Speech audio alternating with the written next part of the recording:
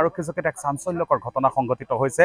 আৰু এগৰাকী আৰক্ষীৰ লোকে ইয়াৰ যিগৰাকী আই চি আছে তীৰ্থ তীৰ্থ চেত্ৰীক তেওঁক হাতত গুলী কৰি গুলী কৰিলে আৰু গুলী কৰাৰ পাছতে তেওঁ আচলতে তেওঁ চিকিৎসাধীন হ'ব লগা হৈছে। আচলতে ঘটনাটো এনেধৰণৰ বুলি আৰক্ষীয়ে ক'ব খুজিছে যে ডিব্ৰুগড়ৰ এইখন যি আৰক্ষী চকী প্ৰাঞ্জল বৰা নামৰ এজন এল চি তেওঁ আজি পুৱাৰ ভাগত এই এই থানালৈ আউটপোষ্টলৈ আহিছিলে যি বগীবিল আউটপোষ্ট আছে আৰু বগীবিল যি দলং আছে দলঙৰ সমীপতে কিছু নিলগতে এইখন আৰক্ষী আচলতে চকী আৰু ইয়াৰ যিগৰাকী আৰ চি তীৰ্থ তীৰ্থ চেত্ৰী তীৰ্থ চেত্ৰী আচলতে নিজৰ কৰ্মৰত অৱস্থাত আছিলে আৰু ইয়াতে এগৰাকী আহ, চেন্ট্ৰী যি ক'ব লাগিব যি প্ৰহৰী থাকে। প্ৰহৰীৰ পৰা নিজৰ প্ৰহৰীৰ হাতৰ পৰা এটা বন্দুক আচলতে কাঢ়ি ল'বলৈ চেষ্টা কৰি নিজকে আত্মহত্যাৰ চেষ্টা চলাইছিল বুলি জানিব পৰা গৈছে যিগৰাকী এল চি প্ৰাঞ্জল বৰাই।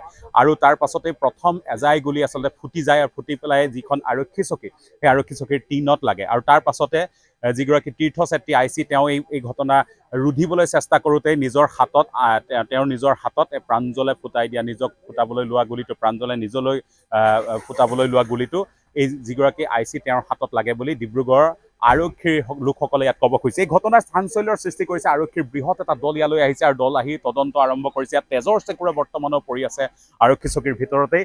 আৰু যিটো আচলতে বন্দুক সেই বন্দুকটো আচলতে আৰক্ষীয়ে জব্দ কৰিছে আৰু ডিব্ৰুগড় আৰক্ষীৰ এটা বৃহৎ দল ইয়াত আহি তদন্ত প্ৰক্ৰিয়াত নামি পৰিছে। কিন্তু একে সময়তে ক'ব লাগিব যিগৰাকী প্ৰাঞ্জল বৰা আচলতে যিগৰাকী আৰক্ষীৰ লোকে আচলতে গুলি নিজকে আত্মহত্যা কৰাৰ কৰাৰ চেষ্টা চলাইছিলে বুলি কোৱা হৈছে সেই আৰক্ষীৰ লোকজনে আচলতে কিয় এনেধৰণৰ কৰিলে? তেনেধৰণৰ এক ঘটনাও এতিয়া বৰ্তমান লাহে লাহে পোহৰলৈ আহিবলৈ ধৰিছে। এজন লোক আছে আমাৰ স্থানীয় লোক আমি তেওঁৰ পৰা জানিব বিচাৰিম। তেওঁ গোটেই ঘটনাটো কি হৈছিল? আপুনি কি বুলি গম পাইছে?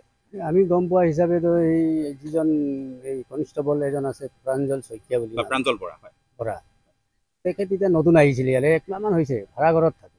তেখেতৰ ঘৰুৱা হেৰি হৈ গ'ল। মতা মাইকীৰ মাজত কাজিয়া হ'ল। কাজিয়া হোৱাৰ পাছত মানুহজনীক কিবা এটা হাতুৰি নিচিনাই মাৰি দিলে বোলে মাথাতে। আজি? এতিয়া বৰ্তমান। তাৰপিছত তেখেত ইয়াত থানালৈ ওলাই আহে। থানালৈ ওলাই আহি কিনে থানাত এটা আৰ্মছ আছিলে বোলে খাৰা কৰি থোৱা ক'ৰবাত আছিলে আৰু। সেইখন লৈ কিনে সি নিজৰ আত্মহত্যা কৰিম বুলি গুলি গুলি মাৰিবলৈ লওঁতে এটা এটা এক ফায়াৰিং কৰোঁতে মানে ওপৰলৈ গুচি গ'ল। এতিয়া দ্বি- দ্বিতীয় ফায়াৰিং কৰোঁতে আই চি ছাৰ ওচৰতে আছিলে তেখেতে বচাব যাওঁতে তেখেতৰ হাতত লাগিলে। মানে তেখেতক বচালে আৰু নিজৰ হাতত দুখ পালে। আই চি ছাৰ কিমান দুখ পাইছে আই ছাৰে এই হাততে দুখ পাইছে। ফুটি গৈছে নেকি হাত? ফালি গৈছে এইটো আৰু। আঙুলিকেইটাও গ'ল নেকি? তেওঁ পত্নীক কি মাৰিলে? পত্নী আঘাতপ্ৰাপ্ত হৈছে নে তেওঁৰ ঘৰত যে পত্নীক মাৰি পত্নী আঘাত ঘাত হৈছে ইয়াত ঘাও বেণ্ডেজ মৰা দেখিছিল তেজ চেজ ওলাইছে।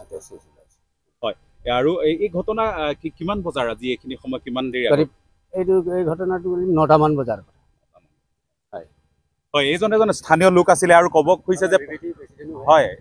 এইজন যি স্থানীয় ভি ডি পি থাকে ভি ডি পিৰ প্ৰেচিডেণ্ট তেওঁ তেওঁ ক'ব খুজিছে যে নিজ পত্নীৰ লগত প্ৰাঞ্জলে এক কাজিয়াৰ সূত্ৰপাত হৈছিলে আজি পুৱাৰ ভাগত। তাৰ পাছতে তেওঁ যথেষ্ট মানসিকভাৱে আচলতে স্থিৰ অৱস্থাত নাছিলে বুলি ক'ব খুজিছে আৰু তাৰ পাছতেই ডিব্ৰুগড়ৰ যি বগীবিল আৰক্ষী চকীত কৰ্মৰত অৱস্থাত আছিলে তেওঁ আৰু আহি ইয়াতে এটা বন্দুক আচলতে বন্দুক তেওঁ নিজৰ টনা আজোৰা কৰি লৈছিলে নিজক আত্মহত্যা কৰিবলৈ আৰু তাৰ পাছতেই আহ, টনা আজোৰা কৰিবলৈ চেষ্টা কৰি প্ৰথম যায় গুলী ফুটাই ফুটাই নিজক আত্মহত্যা কৰিবলৈ চেষ্টা চলাইছিলে যদিও সেয়া গুলী টিনত লাগিছিলে আৰু টিনত লগাৰ পাছতেই পৰৱৰ্তী যিটো গুলী সেই গুলীটো নিজক নিজলৈ টুৱাই মাৰিবলৈ লওঁতেই আৰক্ষীৰ চকীৰ যিগৰাকী আই চি তীৰ্থ চেত্ৰী তেওঁ হাতেৰে ধৰিছিলে আৰু তেওঁ সোঁ হাতেৰে গুলীটো ভেদি যায় আৰু তেওঁৰ যথেষ্ট গুৰুতৰভাৱে আঘাতপ্ৰাপ্ত হয়। বৰ্তমানেও আৰক্ষী চকীখনত চাঞ্চল্য অব্যাহত আছে। তীৰ্থ চেত্ৰী বৰ্তমান অসম চিকিৎসা মহাবিদ্যালয়ত চিকিৎসাধীন হৈ আছে আৰু যিগৰাকী প্ৰাঞ্জল বৰা প্ৰাঞ্জল বৰা বৰ্তমান আৰক্ষীৰ জিম্মাত আছে।